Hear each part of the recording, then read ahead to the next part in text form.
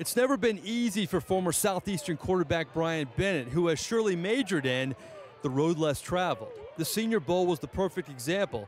It took Auburn quarterback Nick Marshall switching to defensive back at the last minute to open the door for the former SLU star, who was so last minute, his college coach had to come to the rescue. We got the call yesterday, so I drove over with the helmet and shoulder pads and, to get him set up. Yeah. You appreciate it? Oh, yeah. He's a great kid. First of all, thanks, Coach Rob, for driving my stuff out here.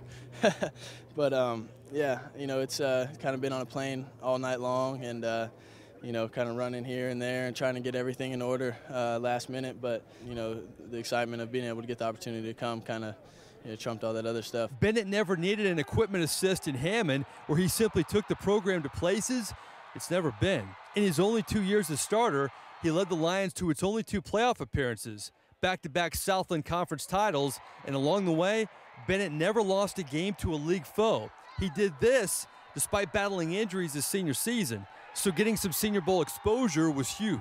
It's a great opportunity. There was, you know, some things that obviously didn't go the way we planned. Uh, struggled with some injuries, um, held me back a little bit. But to be able to have this opportunity, you know, I really just want to take advantage of it and, um, you know, show that I, I can do um, what, what is needed to do to play at the next level.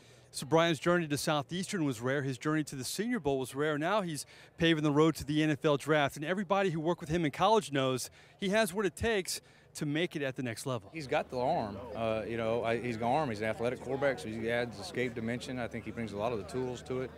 Uh, it's a good thing, you know. Obviously, last year, you know, he's gotten you know 24 or something starts underneath his belt in the last two years, and that's huge. I just want to show that I can be accurate within the pocket, show that um, you know I can get down this NFL style offense, and you know the footwork that comes with you know the play actions and all the stuff that, that comes with you know running an NFL offense. Sneaking into the Senior Bowl, leaving Eugene, Oregon for Hammond, Louisiana, it's an unlikely path to the NFL, but it's made Bryan Bennett a better quarterback. The ups and the downs, and you know the learning experiences.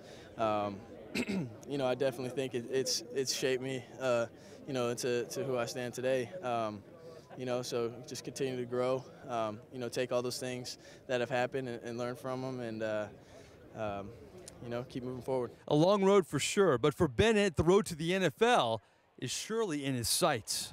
Mike Nabors for CST tonight.